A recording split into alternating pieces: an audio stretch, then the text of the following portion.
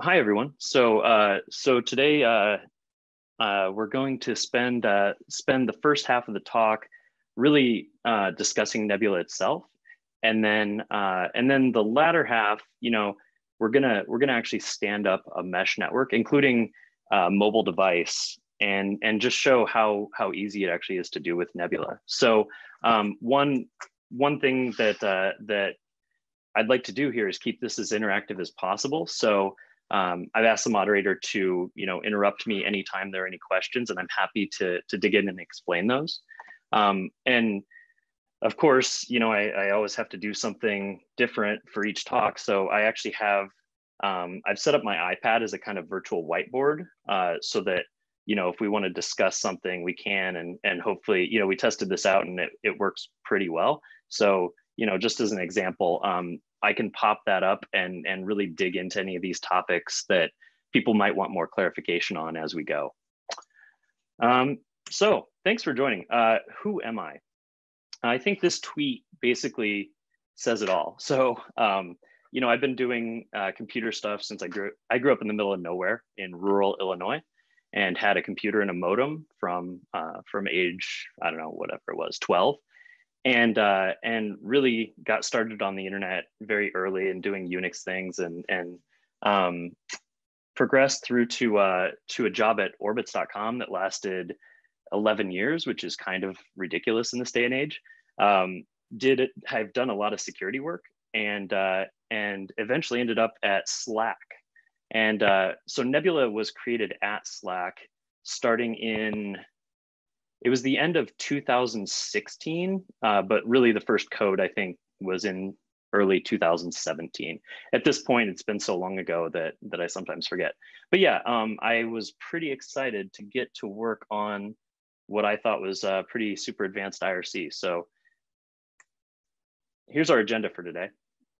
Uh, we're going to talk about the open source release, then go into a bit of history about why we created Nebula, and some of the considerations that were made in the in the process of developing Nebula. And one one thing to keep in mind is that Nebula, while it's new as an open source project, has been around for actually quite a long time. Like I said, early 2017 we started writing this, so it's not brand new by any stretch.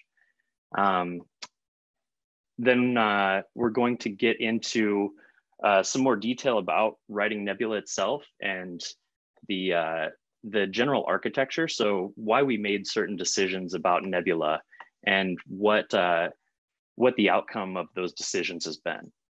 Um, then we're going to do a technical. Oops, sorry. Then we're going to do a technical deep dive. So uh, really going into to pretty uh, pretty good detail on each of the the um, bits of Nebula itself, each of the components, and talking about you know how they work and, and how to stand them up for resilient and performant uh, operation. Then I think the second half, so the, the other 45 minutes after the break will be devoted to the workshop. Um, depending on time, that there may be a bit of overlap one way or the other, but but we'll see. But uh, especially during the workshop, I'm happy to answer any questions or you know basically what we're going to do is stand up an entire Nebula network in AWS from scratch um, obviously it's, you know, I've Ansibled it up ahead of time. So like it's, you know, click here and, and it should kick off, but let me know, um, let me know if there are any areas you want to dig into. You can actually, you know, start thinking about that now and, and be ready with questions during the workshop. And then obviously at the end, there will be a recap on, uh, on what we've discussed. So we open sourced Nebula in November of 2009. And at that point, it had been, been running at Slack for in production for a couple of years, maybe three years. Again, the timelines escape me. But um, you know, we we weren't sure what people were going to think of Nebula. We were we knew we were interested in it, but we weren't sure if the general uh, the general open source community would be as interested in this. And especially coming at it from the infrastructure angle, you know, it, it can be hard to understand why Nebula is useful for networks of any size. But I think I think today we'll dig into uh, just how useful it can be. So we this is this is the tweet from uh, the day we released it on the Slack engineering blog. You can I don't have a direct link, uh, but because they're they're super long medium style links with a bunch of funny characters. So just go check out the Slack engineering blog, and uh, and you can read about you can read the the initial release information. So it was it's about a five minute read. Uh, it's a it's a quick read, but it gives a lot of background on Nebula itself and, and sort of how we came at the problem of networking. Uh, also, this was this was such a lucky coincidence, but we released Nebula on November 19th to the public. And then I think it was about three days later, I had an inbound email from the folks at Linux Unplugged. And they happened to be doing a podcast on uh, mesh networks or, or, you know, sort of um, it basically exactly what Nebula was. And they had this episode planned, you know, before even hearing about Nebula. So on short notice, they reached out and, and we recorded a segment. And I can't say enough, you know, good about about that podcast because uh, they, you know, they they dug into Nebula. They they understood it well and they asked very relevant questions. And so this this podcast is is well worth a listen. One one side note on the podcast itself is one of my favorite projects before using Nebula is called tinc T-I-N-C. And I actually get to hear the author of tinc speak. So we, we actually both appear on that podcast. And, you know, it, it also goes into more detail and probably some things I'll forget to cover here. So definitely check it out, uh, linuxunplugged.com slash 329. Uh, Jim Salter, who uh, coincidentally is the person who reached out and said, "Hey, you should you should speak at the All Things Open conference. It's it's a great one." So I, um, you know, I was happy that he he reached out and let me know. He's actually written a few articles on Nebula, and then uh, Jupiter Broadcasting, which does Linux Unplugged, also did an episode of TechSnap that was devoted to Nebula. So that's that's a more of a technical discussion of Nebula and and some of uh, Jim and Wes's experience using it. So check out Jim on Twitter. He writes for Ars Technica and uh, and he's great. So the open source release uh, and the uh, the mobile apps plus defined. So just I've lost track of time at this point. Is that last week? Um, on on October eighth, we finally announced that we've uh, we've released the mobile app. So we spent we spent a good amount of time actually working on them. We we started with prototypes at the end of last year, but they were they were very much prototypes. And then uh, starting in January or February this year, we we really started uh, messing with that code. Actually, it was in February, and we saw that we could get really good performance on iOS and Android. And so instead of rushing the release as as kind of a beta and and letting it you know letting letting the users feel the pain of of our programming mistakes, we we actually used it for a period of, of many months and sort of sort of developed it internally and then shared it with the Nebula OSS community via the Nebula OSS Slack. Uh, you can find a link to that on our GitHub page. And I think the result of that was we've we've really created a very uh, very polished for an early version mobile app, and uh, we're going to show that off today as well. So when we stand up the mesh, I'm actually going to, to also stand up the mobile app on, I haven't decided yet, iPad, iPad or iPhone, but, but one of those devices. So a bit of history about, about why, we, why we made Nebula, I think is, is useful and, and gives some context on things. Um, and it starts with why I hate VPNs.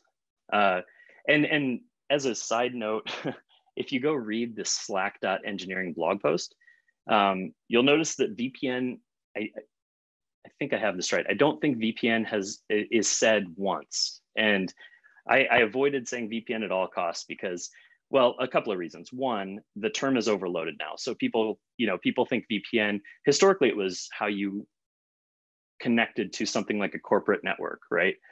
But uh, more recently, I think the the popularity of these sort of anonymizing type services or things that allow you to watch Netflix in another country have kind of have kind of really overloaded the term. And so Um, that's not why I hate VPNs, but but you know it's a reason that that calling something a VPN can be confusing right out of the gate. So uh, this very artistic rendition of um, of why I hate VPNs gets to kind of the point, and I'm going to try the virtual whiteboard version of this because I have my iPad all queued up here. So let me see if I can present that. Oh, hey, while we're in here, that's my co-founder Nate. Um, he uh, he looks just like that in person. Well, let me take these away. So there you go. There's Nate. He's he's fantastic. Um, but I had to had to draw some funny stuff on him. All right, so let's go to uh, why I hate VPNs. So I moved from here. Oops, undo. There we go. I moved from here to here in 2006. And I was still working for a company based in Chicago at the time. And one of the things that sucks about VPNs, if you if you've been in this situation, is um, if I wanted to say so, Barcelona, great town. I, I used to love to go there, and uh, you know before COVID, uh, and so what what would happen is if I connected to my VPN back in the US, and went to say a website that was hosted in Barcelona. Maybe I wanted to to rent out a vacation property, something like that. Um, you can see in this in this visual that like my traffic had to go back here to the US, then to the website, you know, assuming it was actually hosted there, and then back to the US and then back to here, right? And the the problem with that is that's a lot of added latency. Like that that makes the experience of using the internet pretty terrible. Um, also, by the way, I just realized there's there's a technical, or sorry, there's a there's a is it anachronistic? There's a flaw with this, which is I don't think that existed yet. So we'll just pretend that iPhones existed, but I don't think they actually did yet. Um, but yeah, so so using VPNs this way kind of sucked. And um, switch back to here. So then I found out about Tinc, and that's as I mentioned. Uh, it, his name is actually Guus, I believe it's it's pronounced, but uh, he wrote uh, Tinc starting in the late 90s. I want to say 1998 or 99. And what I love about Tinc is, I mean, it was very early in this, but it allowed you to do really intelligent stuff with routing and standing up a mesh network before really anyone was talking about this, which was pretty amazing. And so let me show you what that looks like here. So that one is right here. So in, in something like Tinc, um, instead of instead of routing all over the place to, to connect to different computers, what you can do is have have things route to other things and, and even route via other nodes. So in this example, you know, my laptop here, uh, it it might be connecting to um, this server, right, this laptop. And if they don't have a direct connection, which in this case, you know, I, there's not one, right? There's nothing there. Um, Tinc is intelligent enough to actually route that, and it could it can actually take multiple hops and do something like that. So Tinc is Tinc is pretty great. It actually what is it? It uses uh, I'm gonna get this wrong, some kind of tree algorithm to determine how to reach the other nodes, but it's it's really smartly written. Um, and so I I think that Tink has informed a lot of the development process of Nebula over time. Um, and I'm I'm just grateful that it was written. I think it was a, a wonderful open source, or is a wonderful open source project.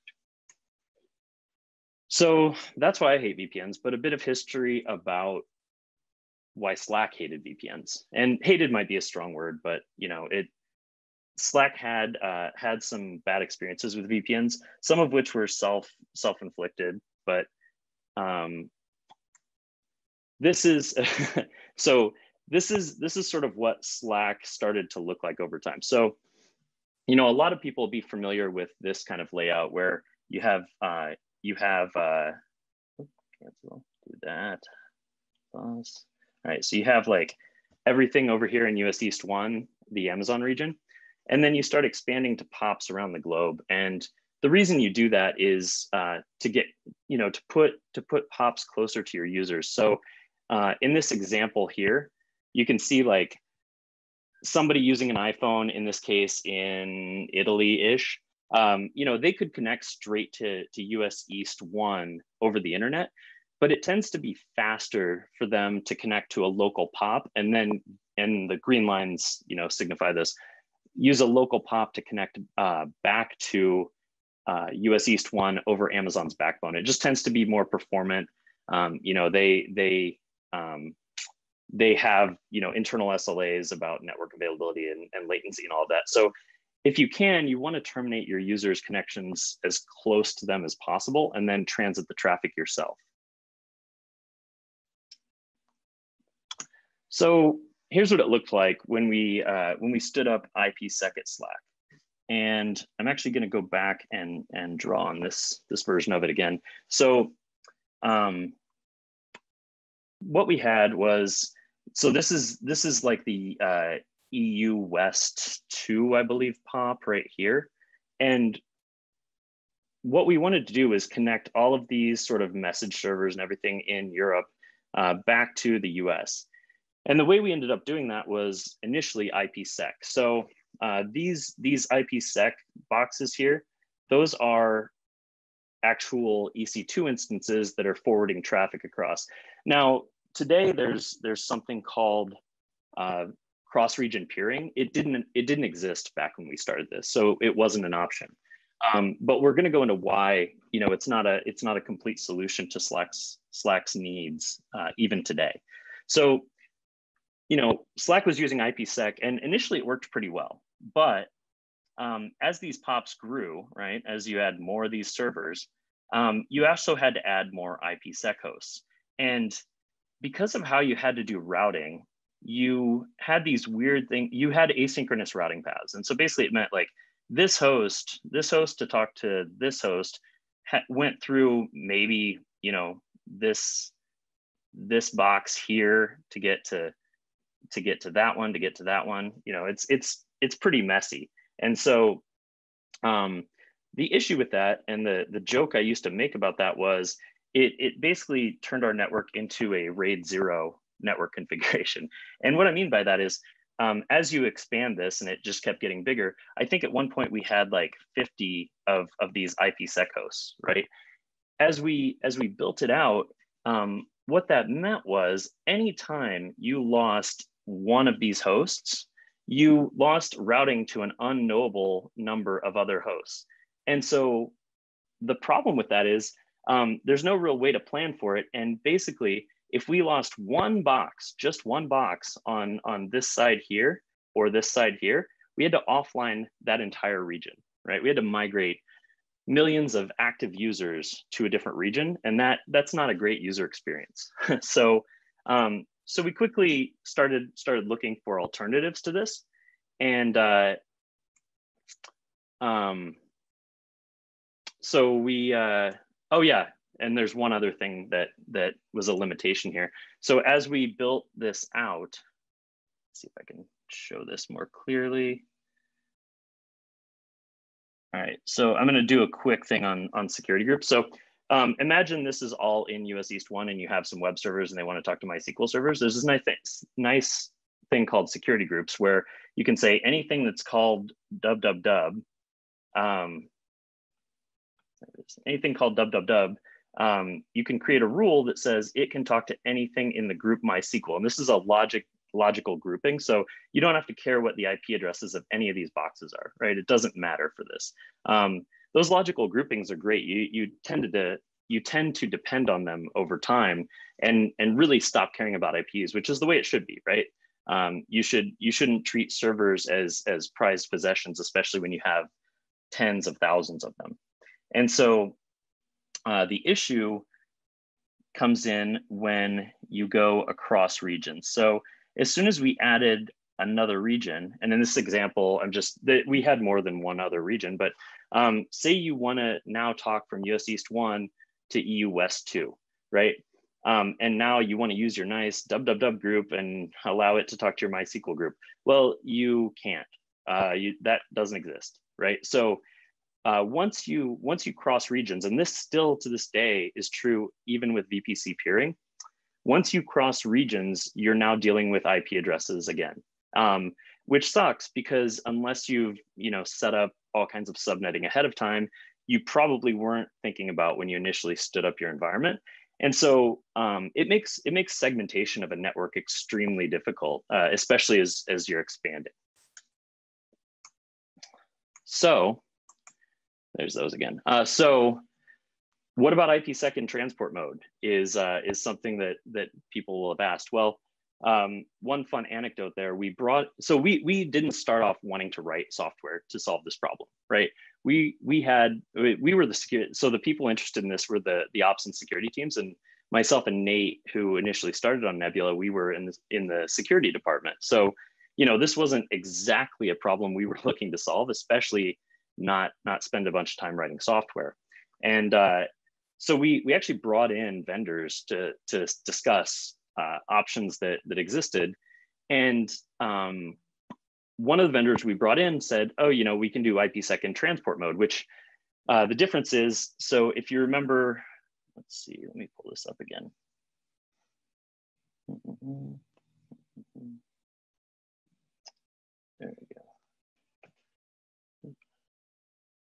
Apologies on one sec. That one. All right, so if you remember this, uh, this document, so the difference is in this one, you have these IPsec nodes that are separate EC2 instances. In transport mode, you can do, um, you can have these boxes, you can basically eliminate those. And the difference is you don't encrypt the IP headers anymore, you just encrypt the payload, but it allows, you know, this box to talk straight to that box, right? Which is, which is an improvement over, over the RAID zero network configuration. Um, but, you know, during the discussion with this vendor, they they brought up a very important question, which is what is your fan out? So, you know, what that means is how many um, how many of your web server or sorry, how many database servers will one of your web servers talk to? And we said thousands, right? Like one web server, because of how we did, did sharding, one web server might talk to every database over the course of a minute. And um, obviously won't name the vendor, but they they basically said don't use our product right? Like they said once you get to that kind of fan out you're not going to have a good experience.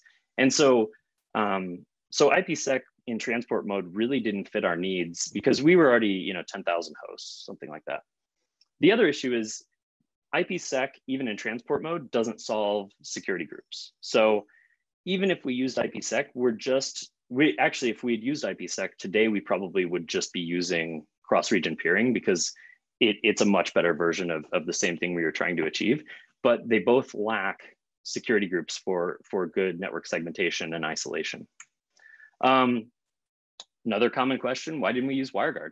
Um, basically, it, it, boils down to kind of the same thing. So a couple of reasons. Back in 2016, I think WireGuard's website even said like, this is early stuff. I, I don't know how early it was, but it kind of said right on the main website, don't use this in production. So we didn't use it in production.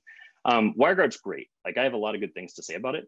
WireGuard is is concerned with being a VPN, not with being sort of this this mesh network, right? So um, if we had if we'd used something like WireGuard, we we knew that we would have to preload the keys on every device in our network ahead of time to allow any particular pair to communicate with each other. So um, WireGuard has a really great architecture, but at the scale we were trying to run, um, we had this problem where you had to inform n minus one nodes of any new node that was joining before they could talk to each other, right? And so once you get to 10,000 nodes, you know, you, it, it's a solvable problem, but now you're talking about a lot of overhead traffic, uh, just to inform nodes about each other. And then you have to deal with things like offline nodes and, and uh, um, you know, kind of keeping state and bringing them up to date when they come back. So like, I think WireGuard's great. It just wasn't, wasn't what we needed. And on top of it, you know, it didn't have the, the security group functionality that was kind of a core piece of why we, why we wanted to uh, build Nebula. Um, ZeroTier, we didn't really know about. Um, but I'll, I'll, I'll just say like briefly, the, the main issue, the reason we probably still wouldn't have used ZeroTier, and, and again, it's a really cool project, but um, until very recently, you couldn't host your own discovery servers. So ZeroTier is similar to Nebula in some ways, but basically they host the network discovery. You can think of it as DNS effectively, like how does a node reach another node? And you know, it was hard enough to convince Slack to use something like Nebula that we we owned all of the infrastructure for.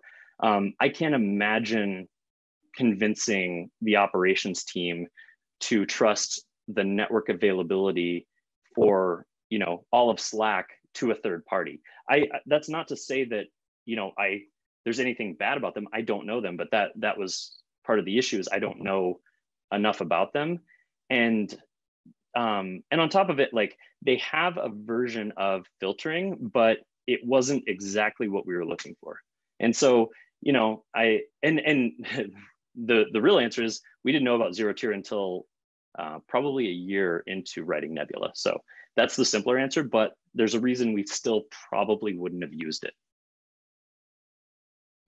Um, what about insert whatever? Um, so there are some other projects that do things like key distribution, but you know, it it's still that n minus one problem. Like we wanted something that was um, that was able to provide just-in-time connectivity without having to share a bunch of data around. Like any any two nodes should be able to connect without knowing anything about each other ahead of time. And you know, we did that via a root of trust. So um, I'm going to take a quick pause here and just ask if anyone has any questions on, on any of that content before I move on to the next section.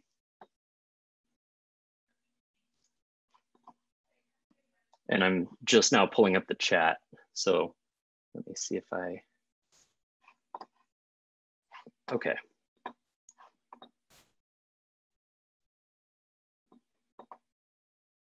All right, so let's move on. So hi, you know, it does decided... look like we have oh, yeah. one question from Bruno. Oh, okay. Great.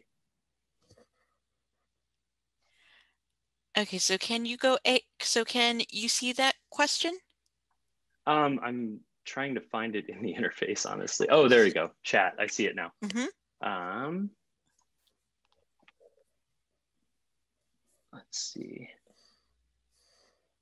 Yeah. So what about so uh, Bruno's asking what about mesh services that are that are popping up now like Istio, Linkerd, um, and etcd.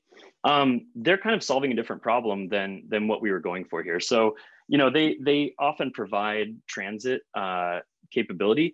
Like a good example, Slack uses Envoy, right? But at least back when we started on this, um, Envoy's docs said uh, if you want to connect things across uh, across the internet, uh, you should probably use mutual TLS. And that was kind of the extent of it. It was like, okay, go figure out mutual TLS. And and that was, you know, it, people treat mutual TLS as though it is a, a an easily solvable, obvious, you know, obvious solution. And it's really not. Like running your own PKI and, and doing this um, people that work at Google will say like, oh, it's super easy. You know, we just we just use uh, ALTS everywhere and everything is authenticated everything. But um, there are a lot of reasons we couldn't do it there. One of the one of the big ones was we were transiting UDP traffic as well. So like that's a whole other can of worms that that we didn't solve. But what Nebula doesn't try to be is um, is any kind of uh, load balancer or synchronization service. It's it's more concerned with providing the raw connectivity. And so um, I think those mesh, mesh services over Nebula actually makes a lot of sense um, using Nebula as the, the connectivity layer for other things. So cool, thank you for the question. So, um, so I guess we're gonna write some software. So we started in 2006-ish. Again, I, I asked Nate about this just a bit ago and he couldn't remember for sure either. I do, I do know that, you know, we were just chatting, we were, we were out walking around and the moment we decided to really write Nebula was when we started talking about encapsulating security groups in Nebula certificates. Like that was the killer feature that, that just convinced us that this was worth doing. Um, we did it in Go, right? So Nebula is written in Golang. And a lot of people have asked, like, why didn't you use Rust? Why didn't you use, you know, whatever? Like we didn't use C and C++ because memory safety, right? Bumper like Golang is it's it's much harder to write things with buffer overflows and and simple exploitable stuff. Um, and we we were going to be dealing with with a lot of uh, network traffic, so we didn't want to expose our code to the internet without having decent memory safety. Uh, the reason we used Go, honestly, was because we knew that we could probably find more developers who would know how to write Go than than some of the other alternatives. So that may not be true long term, but but that helped. And and one thing Go, I think, doesn't get enough credit for is the fact that you can, if you if you optimize how you write Go, you can start to remove the garbage collector from relevance. So Go allowed us to prototype things very quickly, and then when we needed a more performant version to swap it out, right? So Go was Go was a choice that we made, you know, pretty pretty early on. Uh, we'd written some other things in it, and uh, if I had it to do over again, I think we would have made the same decision. A um, little bit of funny history. Uh, early versions of Nebula had distributed hash tables. So when we were thinking about the problems of how to discover nodes, you know, we had this, what it, wouldn't it be cool if there was no central source of truth? Like what if they could talk amongst themselves and figure it out? Um, there was DHT code in the code base for a while. I experimented with that for better than a month, if I remember right. Uh, let's just say it didn't go well. Um, probably a lot of that is me not understanding it well enough, but but also like you know I think the solution we came to was was actually much better than than sort of the direction we were headed. Um, we actually the open source version of Nebula doesn't doesn't reflect this because we cut the history when we when we put it out in public, but we actually threw way more code than than is actually in the Nebula repo today. Like there was there were so many experiments that in Nebula, um, but one of the early bits of code is actually almost unchanged from its early iteration. So the uh, the firewall code actually came first. Before we went down the, the this path, Nate, who's who's amazing at performance uh, tuning and, and just programming in general, he wanted to make sure that that our internal firewall could be fast enough to do this if it was written in Go. So the so before we even wrote any of the transport layer, the firewall code was was created. Um, you know, we we knew that it had to scale. Uh, so this was this was kind of a unique advantage. Like if I, if I had wanted to create something like Nebula but wasn't working at Slack, I think we would have made different decisions. And facing the prospect of releasing this internally at Slack to, uh, you know, to a very large infrastructure right away meant we had to had to think about how to do that um, and maintain, you know, uptime and, and all the important stuff. Um, so at Slack, uh, this actually involved orchestration via Chef and and a direct vault integration. So at Slack, nodes can can authenticate to Vault with their Nebula credentials, which, you know, I, I, if you, I don't want to go down this rabbit hole too far, but if you've used Vault, that's a very nice property to have. Like the the way it works at Slack is you chef a new box, it has a provisional cert. That provisional Nebula cert can only talk to the provisioner instance and the lighthouses. And then uh, once once it uh, asks for a cert from that that uh, that CA basically, the CA uses AWS's backend to verify that it is actually one of the nodes that we trust before giving it. So there's there's a sort of three leg you know, authentication process that goes on behind the scenes. Um, that's not open sourced yet. It, it is unlikely to be because it was it was quite custom. So we open sourced the parts of Nebula that you know were less custom to Slack's use. Um, but I think there's a need here, and that's sort of what we're working on at the new company, right? Is how to how to deploy this at scale if you're not Slack. Um, so yeah, uh, that's that section. There's probably not a lot of lot of questions out of that one, so I'm just going to carry on. So um, this is a bit about uh, oh yeah, how I learned to stop worrying and love UDP, the the technical deep dive here. So the, the first thing to know is we used something called the noise protocol framework. Uh, we, this is, this is instead of using something like TLS or in the case of UDP, DTLS, uh, datagram TLS. The reason we did that was there's just so much uh, sort of legacy cruft at this point in, you know, TLS 1.3 I don't think was really out out there yet. But but in TLS 1.2 and prior, there's a lot of cruft. There's, you know, X509 has its issues. Um, handshakes can be multiple round trips. Noise, the noise protocol framework has some really nice properties where, and, and we use one of these, which is uh, single round trip handshake. So to, to complete a Nebula handshake, it's one packet out from the initiating host, one packet back, and now now you've stood up a tunnel. And in TLS, you know that can be that can be three round trips, I think, in, in kind of the common case. So the Nebula certificate format is not X509, it's protobufs. Uh, you know, some people would say, well, why didn't you just use X509? We did. Uh, we actually used an early version. Uh, in an early version, Nate wrote a complete elliptic curve X509 implementation for Go, because I don't think it existed yet um, within Go. And, you know, it worked. I mean, we, we got it working, but the initial packet size was, was a bit troubling. So a lot the, the internet has something called the internet minimum mtu which historically is like 576 bytes.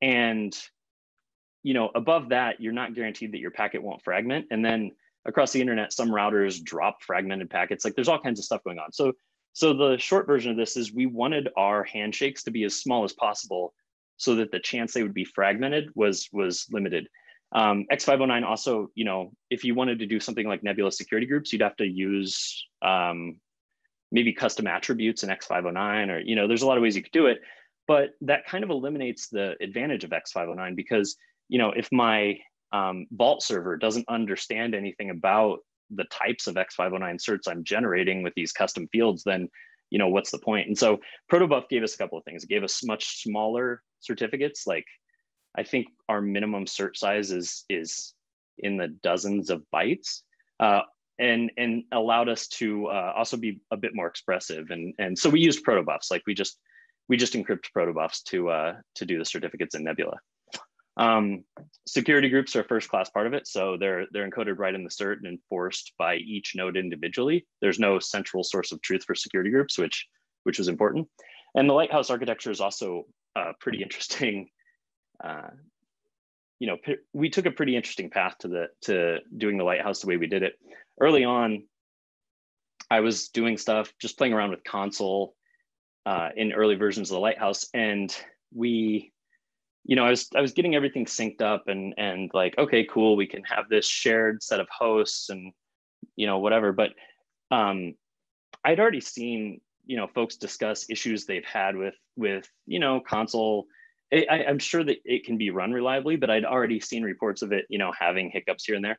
And we needed this to be highly available. So we just didn't want to chance it. And so um, what we what we ended up doing was saying, why deal with eventual consistency, these sort of raft style things, when you can have uh, perpetual inconsistency? So at Slack, there are something like six lighthouses. I don't know if that's still accurate, um, but they're they're globally distributed they don't actually know about each other right? So each node uh, reports itself to every every lighthouse independently. And also when it wants to reach another node it queries them all independently and it aggregates the results itself. Uh, there's other limitations like a lighthouse can't give more than 10 answers so it's hard to ddos answers. But basically this all means the, that the uh, the lighthouses are not are explicitly not trusted. Like a compromised lighthouse can't compel a host to talk to another host. It can't even compel a host to stop talking to another host. It can give bad answers. But in the case of something like six lighthouses, you know, as long as one of them is is functioning, the network just continues to work. Um, and so, you know, that's one thing that we've worked hard to avoid is trusting the lighthouse with any of this. When we start talking about things like uh, like uh, uh, blacklisting, people often say like, well, the lighthouses could do it, but but there are reasons we, we really want to avoid that. Um, so we used AES. Uh, Noise lets you use AES or Cha-Cha Poly as, as the encryption. So um, it's AES GCM, and then Cha-Cha Poly is actually what WireGuard uses. The, the important difference here, the only thing to really know is um, if you have AES NI instructions, which most Intel CPUs do these days, then AES sometimes is, is generally a bit faster. But if you have devices that don't, which the majority of, of mobile phones don't have, you know, sort of AES-NI acceleration, then Cha-Cha Poly is actually a superior choice. So we have to, we support both, uh, but you have to choose network wide. Hey Ryan, and, just wanted to yeah. let you know you have five more minutes left for this first one. Cool. Um, we're we're right on schedule. Thank you. Um, so uh, the so as an example, Slack Slack runs it in AES mode, and the reason they do that is this is mostly servers talking to other servers that have that acceleration. My home network, I have a bunch of Raspberry Pis, I have mobile devices. I run it in Chacha Poly mode. Um, the the performance you sacrifice by using Chacha Poly on Intel devices is is pretty negligible at this point. But if you have something like an older Atom CPU that maybe has AES-NI, there's still a bit of an advantage. So it's worth supporting both. But, but again, you can't run in mixed mode. So you have to decide for each Nebula network which way you run um, because there's no uh, what's called crypto agility. And it's, it's you can go read about crypto agility and why it, it has been a headache um, for, for the internet uh, for many, many years. Uh, we do something called hole punching, which I don't know if I'll have uh, too much time to explain, but here's here's the here's the I made all these uh, these images myself, so that's why they don't look that cool. But basically, the way hole punching works is you have these uh, these two firewalls, and say change this. So say this laptop wants to talk to um, say this laptop wants to talk to this server. Um, the way it does it, say I have a normal firewall, I hit that firewall, and then let me do some, nope, that one. Uh, when I when I actually make an outbound connection, a UDP connection, it goes like this. And now anything that comes back this direction from from these hosts will go into that firewall no problem. Like that's the the root of of how hole punching works. But when I send that packet, this firewall, this one here, doesn't know anything about me, right? And so um, let me clear that out. So, you know, so I've sent this, great. Um,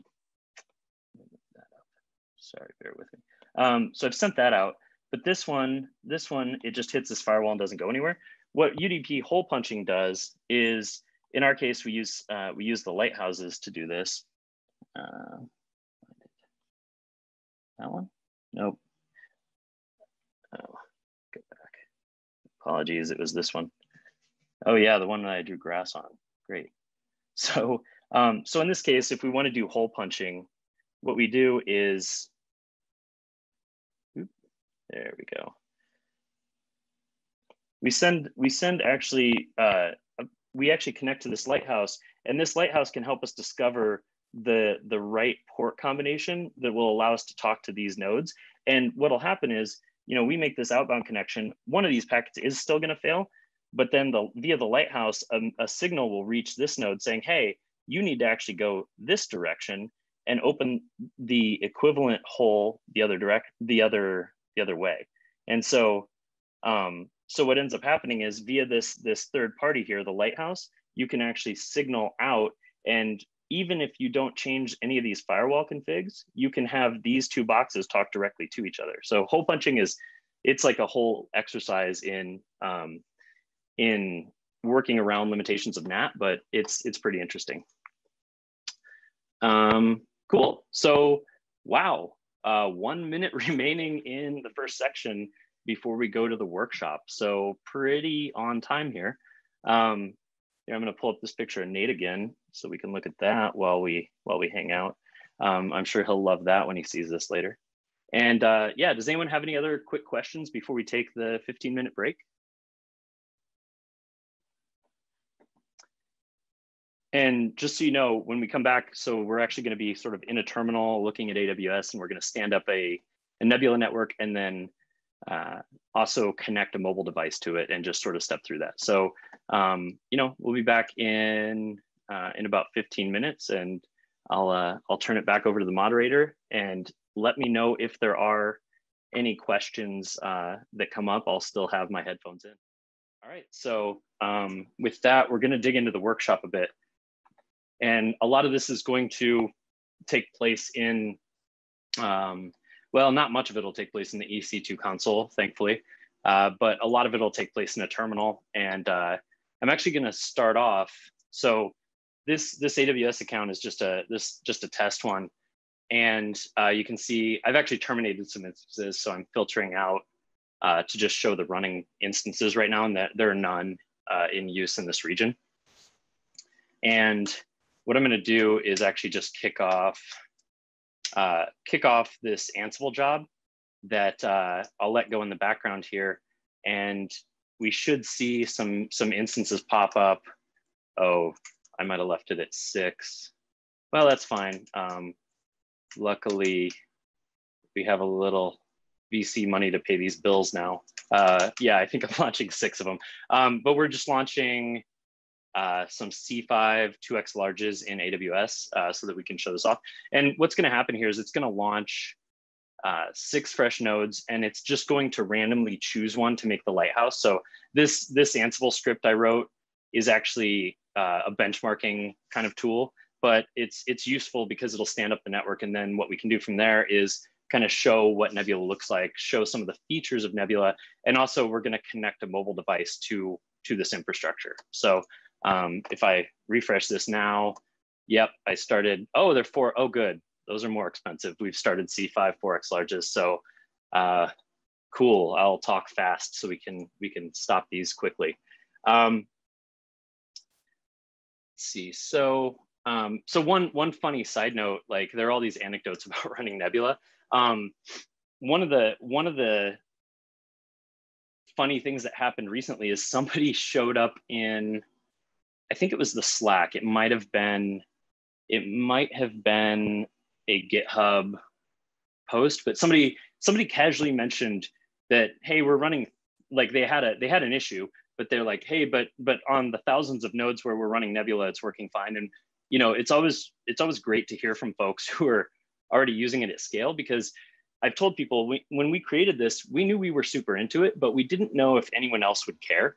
And so it's been really nice uh, to see the the community adoption. And I think we're I think we've crossed the threshold. We're at 6,000 GitHub stars in uh, just a just a bit under a year, which which is great. I mean, it's a it's solving you know problems that people actually have, and and I use it personally every day. Uh, it's it's how I run my my entire personal network. And one of the nice things about Nebula is, um, you know, you you stop caring about what IP a device has anywhere in the world. So I like to call it, you know, sort of location agnostic connectivity. Like I have 3D printers here in the house. Um, I have things at my office. I have uh, things back, you know, where I'm from at my at my mom's place, and all of those things are on one seamless network. And what's what's funny about it is once you get used to Nebula, you actually forget where some of your devices are. Like I've actually I've had this happen where more than once I've had to, you know, go back and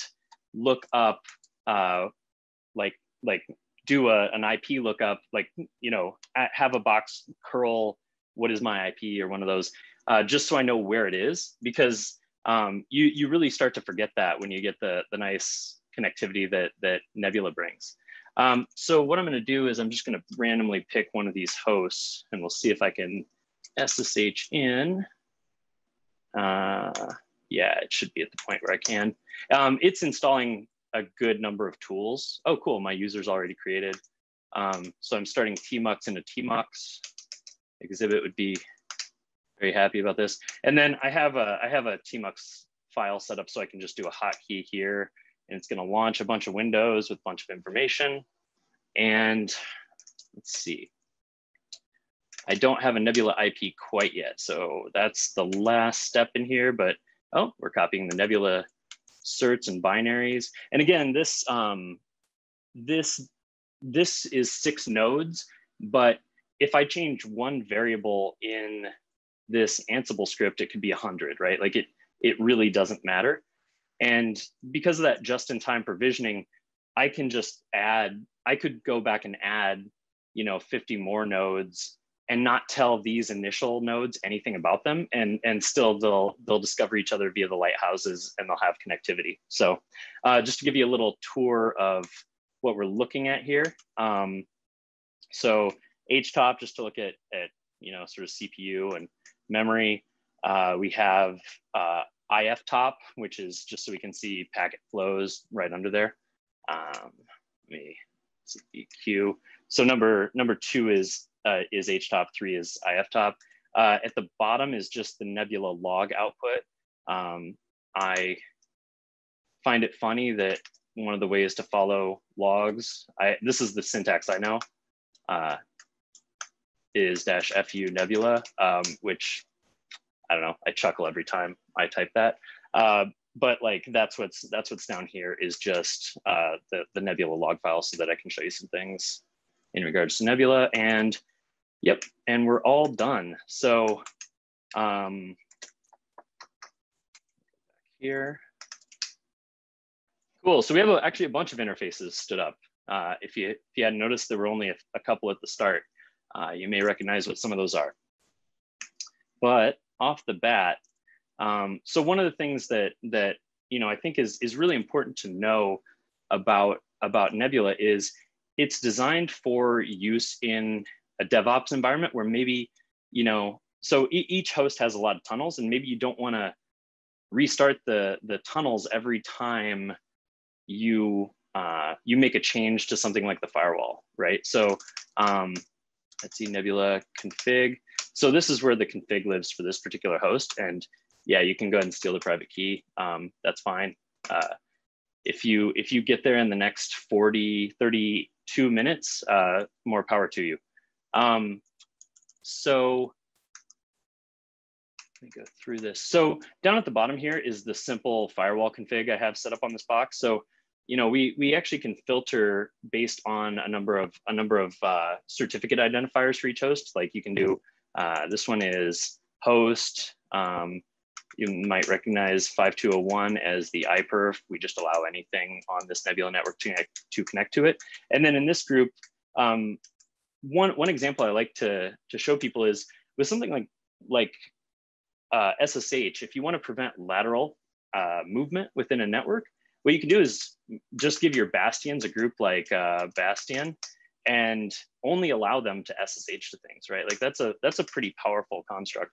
And one thing that I, I'd love to see in the in the future is people actually alerting on uh, Nebula firewall misses. Like, you know, generally you won't like generally you ignore your firewall logs because they're just riddled with nonsense. But to actually attempt an SSH connection on a Nebula network, you have to be authenticated. So the signal value is actually very high uh, for things like, why is this box connecting to a thousand ports that, that it doesn't have access to? Like, you know, you'd never put that rule in, in any kind of alerting pipeline for a host that's just on the internet, but on, an, on a Nebula network, it's actually quite interesting. The way I like to explain it is at, at in in the non-nefarious case it's a it's a misconfiguration and in the nefarious case like it might be somebody that is now accessing one of your hosts and, and you'd like to know about that. Um, so let me show you what a Nebula certificate looks like. Uh, see, temp, is that where I put them? Yeah. Nebula. So there's there's two main there's two uh, binaries. If you build Nebula, I think I've like here. I'll just make it for every platform. Um, so make all. So you know that's one other nice thing, by the way, about using Go is you can just compile it for all these platforms, including MIPS. It runs on my Ubiquiti router somehow. Um, not fast, but it, it does work. Um, so, you know, you have Nebula and Nebula Cert. And Nebula Cert, you can do introspection like uh, cert print dash path uh, define net root dot ca dot. Er, there you go. Um, so that's that's actually what the protobuf uh, shows for this one. So uh, the name isn't very good. Uh, it expires in over a hundred years, so that's probably don't do that. But hey, this is this is okay. Um, and then you can see that this is a, a, CA certificate. So that means this certificate can be used to sign other certificates. Uh, and then you have some some fingerprints. One other thing to know about uh, those firewall rules is you can actually bind to a CA. So uh, don't want to spend too much time on this, but what it means is like you can have multiple routes in your in your trusted CA list, and then you can have different firewall rules based on which CA uh, somebody's certificate belongs to, which is which is also quite powerful. Um, so yeah, so let me pick another host here, and Let's see. Of course, I cleared my screen because I do that way too often. And we'll go back here and SH that one. Uh, TMUX, that. All right, which one is this? This is 3.5, and this is, oh, wow. All right, so I am on the, on the Lighthouse. And so um, what I'm gonna do here is just demonstrate what it looks like to use the security group. So I'm gonna do install telnet, that'll be funny. Uh, dash L, I'm just setting up dash L dash P, I don't know, 8122. No, of course I didn't. There we go. All right. So I'm just setting up a normal uh, TCP listener on this host. I don't remember what my Nebula rules are, so this may just work.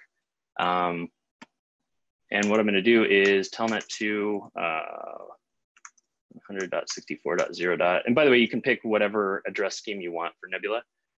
64.5 on port 8122. All right, so there we go. Yeah, so I did allow it, right? So I have this port open. Oops, I didn't mean to. What do I do about that? Well, in Nebula, all of the rules are enforced on the receiver side. So on this host, what I'll do is go into etc uh, Nebula oops, config.yaml. And there's probably, yeah, there's, so there's, so don't do this, by the way, like this is, this is kind of the, the cautionary tale. Anything in my Nebula network can talk to anything else. That's obviously one way you can run it, but, but I really do recommend uh, trying to segment when possible. So what we're gonna do is just get rid of this rule um, that allows everything to talk to everything. And instead of uh, restarting Nebula, which you know you might be inclined to do, um, let's look for the Nebula process. All right, it is one, two, three, four, six. Just missed. All right, so sudo kill dash hup. And by the way, we should see that reflected down here, I believe. Uh, one, two, three, four, six. Yep, there you go. So uh, what happened there is I didn't even kill any of the existing tunnels. And this has reloaded its firewall config, um, refreshed its certificate in case a new one popped up, uh, all without starting the process or without restarting the process.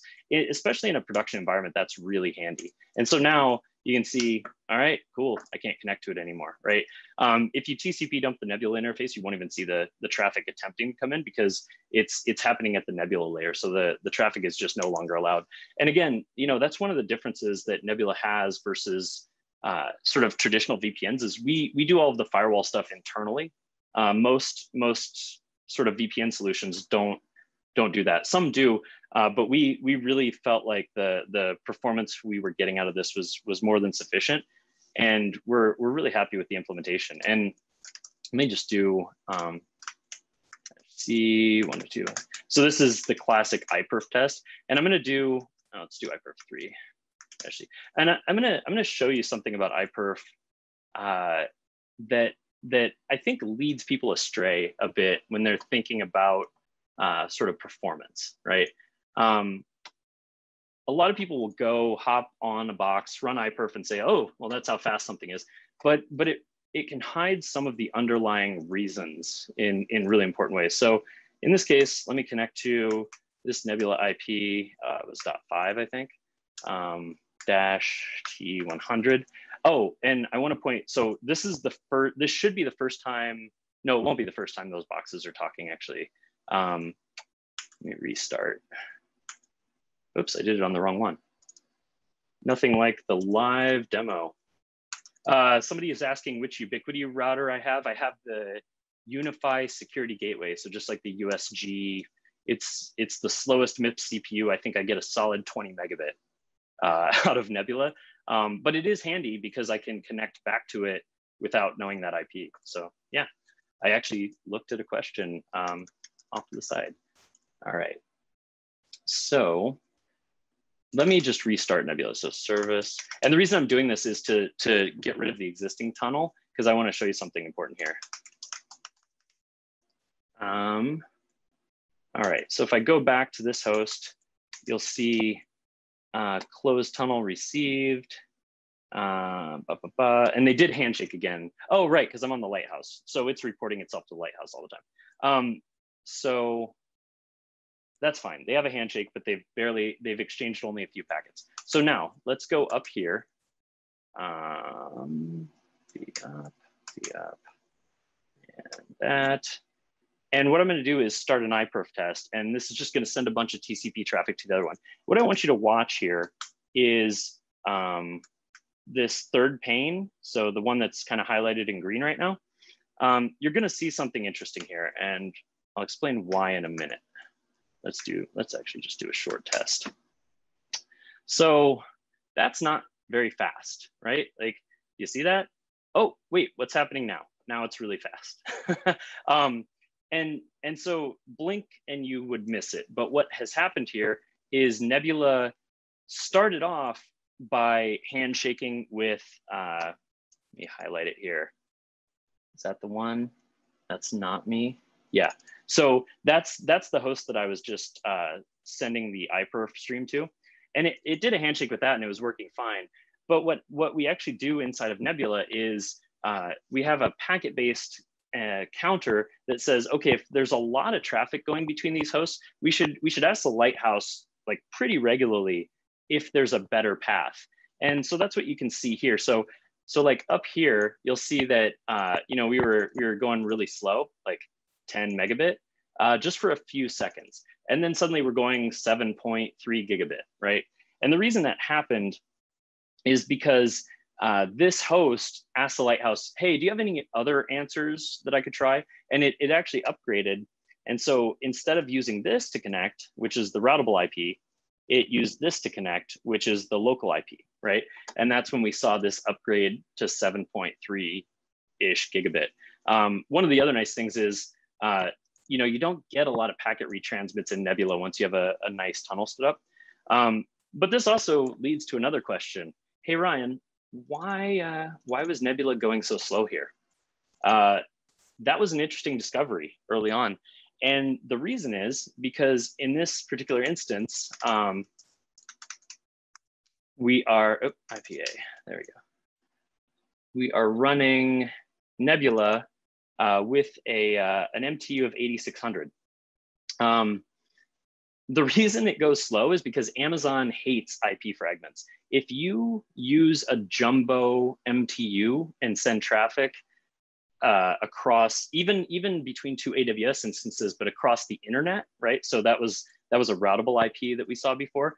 They, they severely limit your, your bandwidth, right? Like they knock you down pretty quickly to that that 10 megabit number.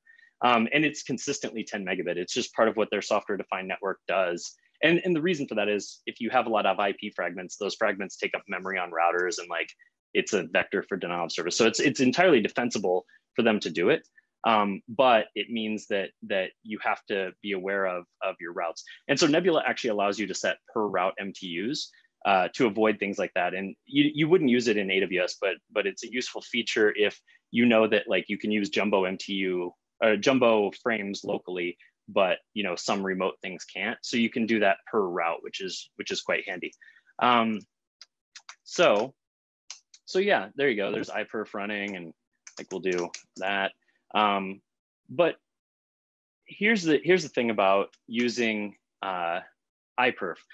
If you're using jumbo MTUs, um, you're kind of cheating, and a lot of people will benchmark things and use different MTUs. So one of the things that is the great equalizer is uh, just to do dash M100, which does, uh, I think it's MSS clamping. But basically that's now saying, um, I'm gonna send 100 byte packets, not 8600 byte packets. And, um, and oh, I'm kind of short. So I'm short on time a little bit, but basically, you know, if you really wanna compare things, uh, I highly recommend doing iPerf with packets per second. And you can see over in this side, um, I have packets per second printed every, every second for all of these different interfaces, because that's actually gonna tell you way more about performance than just the raw, you know, sort of iPerf number. Um, and, and the reason that matters is like, if you're doing bulk transfer, you're gonna hit that, you're gonna use big packets, right? Like it's probably gonna be nicely optimized. But if you're doing like high interactivity stuff, an example would be like every keystroke you send on send on Slack, you know, ends up as a packet over a WebSocket, right? That's a lot of small packets, and and that's actually where you're going to hit performance limits in almost every type of networking. So again, I just want to call that out as something that you should be aware of when you're when you're thinking about uh, performance. So here's another feature that Slack doesn't use, uh, but that that I find quite handy for my own network, which is we have a built-in DNS server. So um, it's normally bound to port 53, but this box has something bound to it. So I set it up to, to do something else. Uh, 27 dot, and then 100.64.0.5. That didn't work. What am I doing wrong? Um, ba, ba, ba, I don't remember.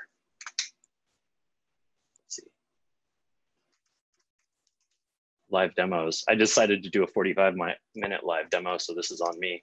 Um, dig uh, dash, no, that's right, at 100.64.0.1, and then uh, 100.64.0.5. And I can't talk to it because I did something wrong. Okay, that's no fun. Oh, you know what it might be? It might not be bound to that interface. There, no.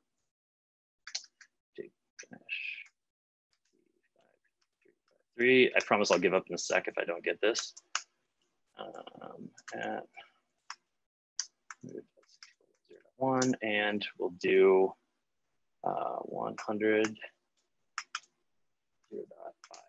There we go. That's more useful. Okay. So this is this is one of the handy little features of Nebula. Now I remember what I did wrong. Okay, so but basically uh, you can turn on this DNS functionality. Slack doesn't use it at all. Um, they didn't need to. Uh, they didn't need to do DNS this way. They did. They had their own stuff already set up. But I wanted this sort of dynamic DNS functionality, so we added this where when you connect to Nebula um, to a lighthouse, the lighthouse can be a DNS server. Uh, you know, caveat here is don't like trusting lighthouses for everything. So don't use this for like super sensitive stuff unless you're you're really trusting your lighthouses. But but it is a handy feature. And so if you do a TXT query for to the lighthouse, in this case, this this 0.1 is the lighthouse and 0.5 is the IP I'm asking it about. And I did a TXT query. What I actually get back is the cert information for that node. And so what I did wrong in the first query, by the way, is I was asking it an IP address that's not actually what this is for. If you do a non-text query, it's so that you can do this. Uh, node5.nebula.defined.net. And there you go. And now I got that answer. And what's really cool is you can actually delegate this Lighthouse DNS server as a real on the internet DNS server if you don't mind exposing internal IP addresses. Like that's that's entirely up to you. But um, but this DNS functionality is nice and it means that whatever name you put into a certificate uh, is, is automatically kind of dynamically resolved. Um, I'm just looking at, I see a question here. Let's see, sometimes when you kill an instance of Nebula on a working tunnel, it seems that uh, some packets locally are resumed once you once you run the instance again. Yeah, okay. So why so why does Nebula queue packets? Um, I mean, actually, you'll see that if I if I can get the mobile demo done, you'll see why. Basically, when when you try to connect to another Nebula node, what what happens is it looks up the real IP and port to use, and then it handshakes, but it'll cache the first hundred or so packets that you send to that that node, and as soon as the handshake completes, it'll actually send those through. So uh, it, it's limited to 100 just to ensure that like you can't DOS it by simply sending a bunch of outbound traffic to a, an IP that'll never handshake, but um, but it's handy because that way, you know, like your initial SSH uh, handshake is delayed, but not just dropped, even though an existing tunnel doesn't exist. So you, it'll be reflected as sort of long ping times. Um, and, and again, that's just because we hold about 100 uh, packets uh, right off the bat. And we, we expire those quickly, like we did a bunch of testing to make sure that if you don't handshake it, um, where does it store it since the instance is skilled? There's there's not a capability to do that. So I'll we'll let's connect on Slack afterward because I'm curious the the case you're seeing. Um, but it shouldn't it shouldn't hold on to packets after the fact. So I'm not I'm not sure why why that's happening, but happy to chat about it after. So Um, one other thing, oh, sorry, go ahead.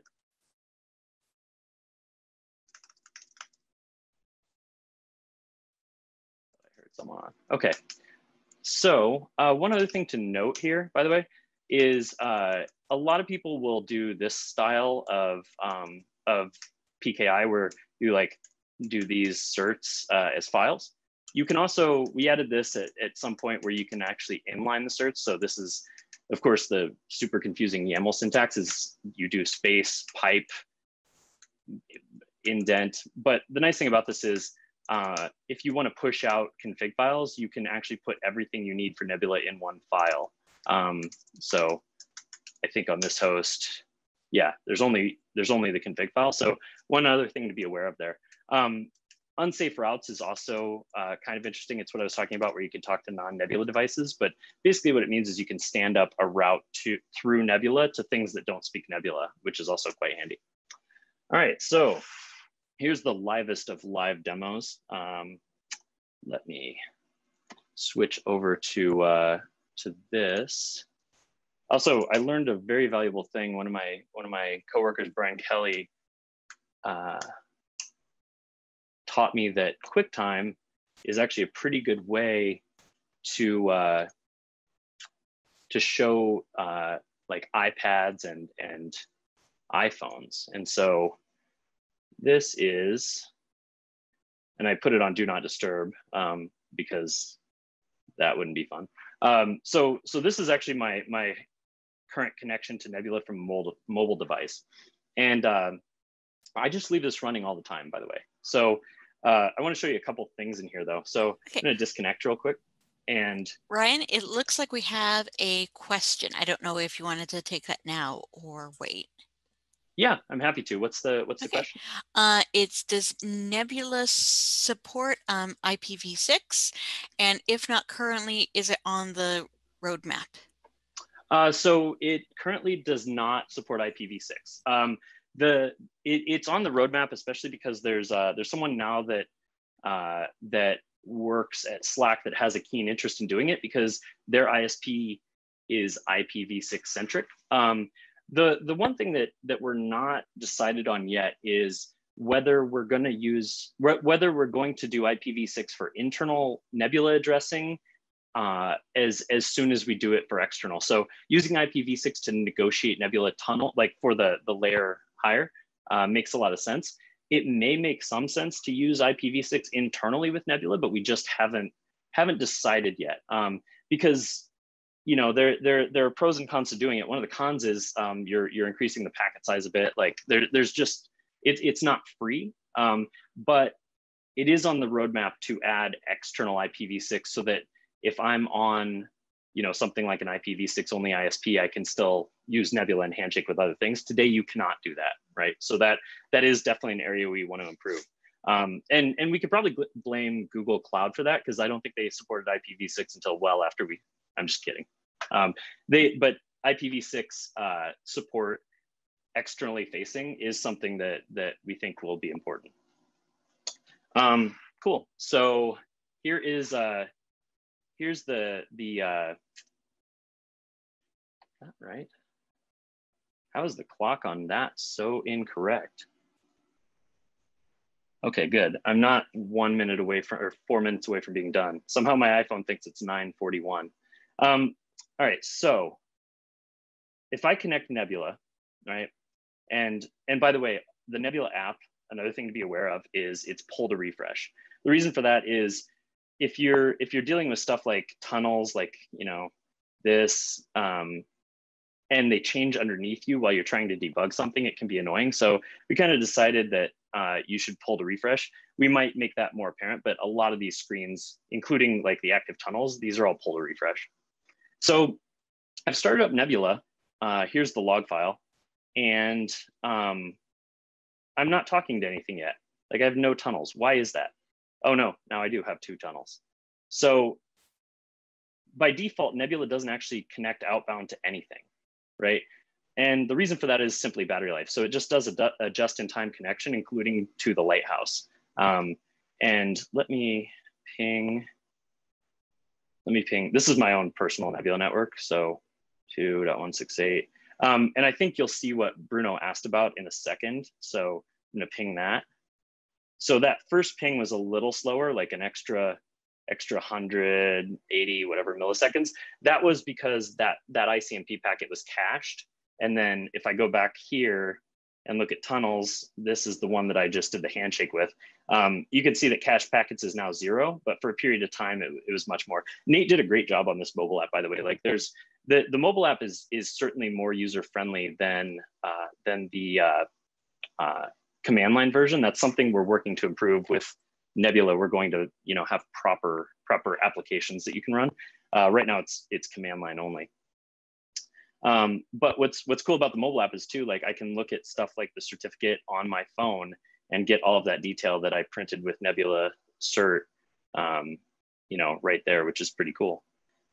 CA, you can add multiple CAs, so you can the thing I was talking about where you can trust multiples. That's great. And then um, one thing to call out in relation to what I was just showing you is this lighthouse interval. So the way nodes report themselves to Lighthouse in non on non-mobile devices is you set this to something like 60 seconds and then every 60 seconds your uh, your computers your servers whatever they'll look at their local interface list and they'll tell the uh, the lighthouse about everything they have. That's how they can discover sort of local ips um, with the with a phone we made the decision to set this to zero by default which means the phone doesn't even reach out to the lighthouse uh, when you start Nebula. So when you click connect on the mobile app, other than starting the Nebula process, nothing happens. And the reason for that is, um, is simply that it's, it's a much more rare use case outside of testing that you are trying to connect to a mobile device. Like usually you're doing outbound from a mobile device. And so the reason, that's the reason for this uh, Lighthouse interval being set to zero. But if you do have the need to connect to uh, to mobile devices like an iPad or an iPhone, and you know, and and you want them to uh, um, to be reachable even if they haven't tried to talk to something else on Nebula. You can you can just change this this interval. You know, you can make it 60 seconds or 600 seconds, and it'll start self-reporting to the lighthouse, and and then this phone would be reachable from wherever. So just a just a handy thing to know about. Um, let's see you can you can set the listen port ex explicitly. You can set the MTU, uh, cipher, log verbosity, and then this is kind of cool. You can actually see the rendered configuration. So um, this is much like what what I showed you on that host. One one major difference is you can't see. Um, I'll use my mouse here. This this the key is hidden. It's actually stored uh, within the keychain on the device. So uh, the workflow is slightly different. And I'm going to try. I only have 10 minutes, so I'm going to try and as a last step here, I'm going to try and stand up a fresh Nebula network and we'll see how this goes because that is that is going to be a bit of a challenge. Okay, so I'm a new site. Let's call it test. And basically what I'm doing here is I'm just going to stand up a new Nebula network that uh, can talk to all those AWS hosts I just launched. So on my phone, and I just realized it's blocked there. Now you can see it. So uh, all I've done so far is type test, certificate, generate keys. So this is a this is a public key. Um, I'm going to share it uh, with Signal. Oops, to share it there. And and the reason I'm doing this, by the way, is just to uh, I think I shared it to the wrong place. That's fine. Um, the reason I'm doing that is just because I have Signal running on my on my computer, and so that way I can uh, I can pull up the uh, the public key on the computer for the next step. All right, so I've copied that that public key. Now, you can't see this, but it's off to the side right now. All right, so here's this window. There's the public key from the phone. Um, and and by the way, the reason this this flow happens is right now we don't allow you to put a public key on a phone. Like we, we kind of said you know they have they they can be used as a bit more trustworthy devices. So you can't generate a private key off of the phone and put it onto the phone right now onto a mobile device in general. All right so i've got that public key. Now uh, i'm on my lighthouse and i'm going to do uh, phone dot pub. Did it. Yep did the right thing. And now I'm gonna sign a certificate for that phone. So what I'm gonna do here is Nebula cert uh, sign. And I the the help in here is is pretty pretty uh, pretty good. So dash in dash pub. So this is this is what's different to the documentation you'll find on the GitHub site. Uh, on the GitHub site, it's about how to generate keys without this sort of uh, intermediary step where you where you sign it off host and, and never expose the private key. But this is actually the way you should run Nebula in general.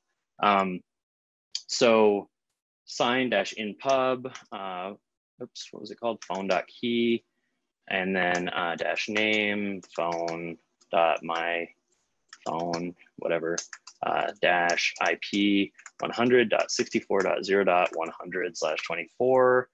Um, sure, that looks good to me. It's not though. Oh, um, dash CA cert is, and it, it has default uh, names for um, certificates, but the files are named something different. So define net root dot cert dash CA minus key, define net. And by the way, like these aren't the real company root cert and key. So like we're not, we're not that silly. Um, there, all right. All right, so phone dot pub and then phone dot cert. So cat phone dot, let me open a new terminal. Cat uh, phone, phone dot of course. There we go. All right, so what I've done now is use the CA that signed all of the, the keys uh, used on all of the other devices. And uh, um, I've created, I've generated a device cert that I now can send back to that device. So I'm just gonna actually highlight, highlight this cert, go back to, you can't see this, that's fine. Going back to signal, I'm gonna message it to myself. And then uh, in oops, in Signal, uh, I'm in the, bring this back up, I'm in Note to Self. So there you go. So there's the cert that I generated off host. Um, and then I paste the contents in here. I hope I'm not boring the heck out of everyone. Um, but there's that. All right, load certificate. So now I have this, there's my asserted IP, validity, it's valid for over 100 years. Again, don't ever do that, please. Um, need to share the CA. And again, the CA uh, that I used here, uh, I think was dynamic. So, um, so like these, these aren't, you know, these aren't long lived for any useful, any useful purpose. Like you, they, they'll cease to be useful uh, as soon as I stop these instances. So setting myself the root cert, you can load it as like a file. You can do a number of things, but I'm, I just find it easy to use Signal and cut and paste. So there we go.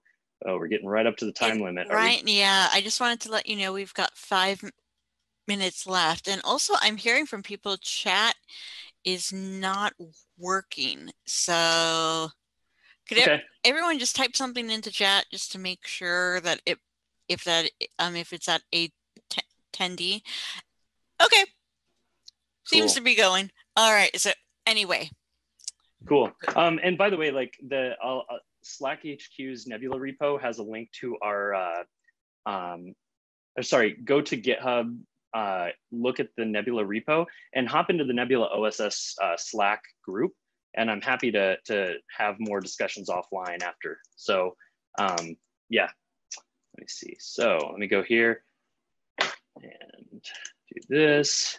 And the next step is, I'm gonna go here. Of course, I waited till the last minute and gave myself 10 minutes to do this. Uh, 100.64.0.1 is the lighthouse. So I'm turning on is a lighthouse.